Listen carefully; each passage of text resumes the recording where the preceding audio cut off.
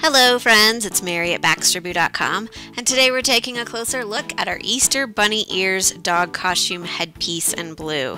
These are lots of fun and feature an iridescent metallic type blue along with marabou feathers, and they have white lining and they go on easily with an elastic chin strap and ear holes. And then you also get this toggle here so you can make the perfect adjustment to fit your pet. This is the medium large size and our model is sporting the small. So these are perfect for photo shoots. It's fun for Halloween and of course for Easter and is a really great, great way to get your pet noticed. There are Easter bunny ears dog costume headpiece in blue and you want to check out the pink version as well.